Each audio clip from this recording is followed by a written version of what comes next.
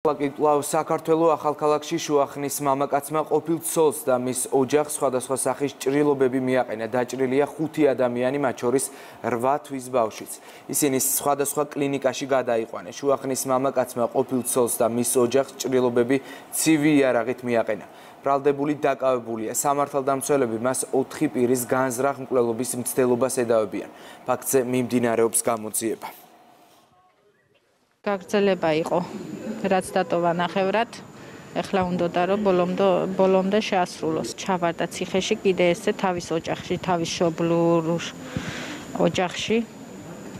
გააკეთა ეგეთი რაღაცა და პოლიციამ დაიჭირა და სასამართლო გაატარეს ეხლა გაუშვეს. გამოსული იყო ციხიდან და პირდაპირ წასულა იქ. დედამის დაართხა და ბავშვი იყო კალთაში იმასაც დაართხა ფეხზე. ჭრილობები ქონდა ცხოვრის სხვადასხვა ადგილში მათგან ორი იყო ძიმე პაციენტი იყო რომელსაც ესაჭიროებოდა სპეციალიზირებულ კლინიკაში დახმარება და რის გამოც გამოძახებული იყო კატასტროფული ბრიგადა და გადაყვანილია ქალაქ თბილისში. სიცოცხლისთვის საშიში არსეთი ჭრილობა არ იყო კიდურების არეში ქონდა ცირითადად დაზიანებული